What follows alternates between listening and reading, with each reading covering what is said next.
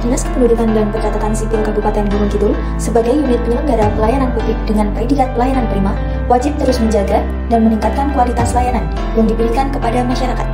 Dan salah satu upaya untuk menjaga predikat tersebut adalah dengan menindaklanjuti rekomendasi laporan hasil pemantauan evaluasi penyelenggaraan pelayanan publik tahun 2022 yang dilakukan Kementerian PAN dan RB terdapat rekomendasi dari enam aspek hasil pemantauan evaluasi yang diberikan kepada Dukcapil Gunung Kidul dan Dukcapil Kabupaten Gunung Kidul telah melakukan pemenuhan dari rekomendasi tersebut. Untuk menjaga kualitas pelayanan Admindu, Dukcapil Gunung Kidul memberikan standar pelayanan. Dan dalam penyusunan standar pelayanan tersebut bersifat terbuka dan diumumkan pada media massa, sehingga masyarakat dapat ikut andil memberikan masukan dalam penyusunan standar pelayanan ini. Komitmen memberikan pelayanan prima dibuktikan Dinas Dukcapil Gunung Kidul dengan memasang maklumat pelayanan pada area kantor Dukcapil Gunung Kidul, website Dukcapil Gunung Kidul, dan tempat terbuka yang dapat dibaca oleh masyarakat.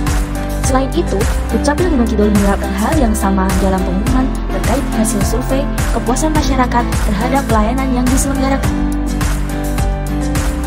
Dalam penyelenggaraan pelayanan Adminduk, diperlukan SDM yang mumpuni, Dinas Dukcapil Kabupaten Gunung Kidul setiap tahunnya melaksanakan kegiatan pengembangan dan peningkatan kapasitas SDM bagi seluruh karyawan Dinas Dukcapil.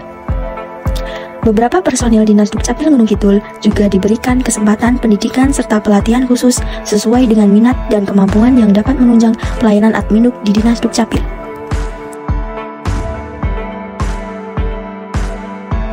Sebagai kantor pelayanan publik, Dinas Dukcapil wajib memberikan pelayanan yang bersahabat untuk setiap elemen masyarakat, Salah satu tindak lanjut untuk hal tersebut adalah dengan dibuatnya sarana dan prasana berupa building block bagi kelompok rentan dengan harapan masyarakat berkebutuhan khusus tetap dapat mengakses kantor dinas Dukcapil untuk mendapatkan pelayanan admin Duk.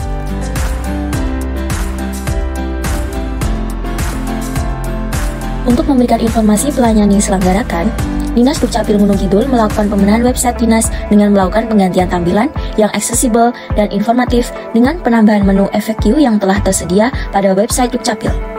Selain itu, halaman web informasi persyaratan pelayanan Adminduk juga dibenahi dengan menambahkan informasi lokasi pelayanan luring ataupun daring, beserta dengan formulir-formulir pelayanan yang dibutuhkan.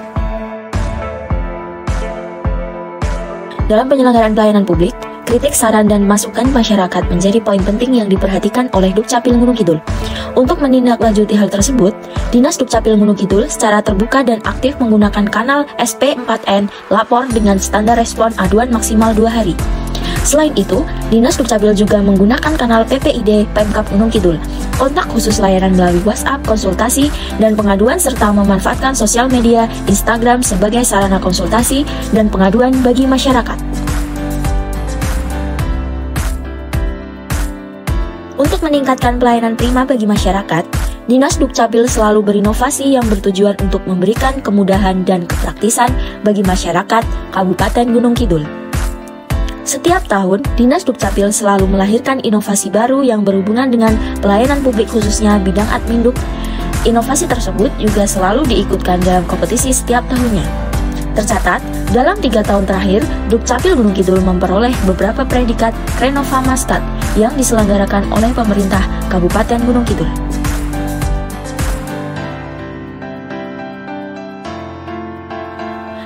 Dalam penyelenggaraan pelayanan publik, Dinas Dukcapil selalu berusaha untuk meningkatkan kualitas pelayanan admin Duk sehingga dapat membahagiakan masyarakat, khususnya di Kabupaten Gunung Kidul.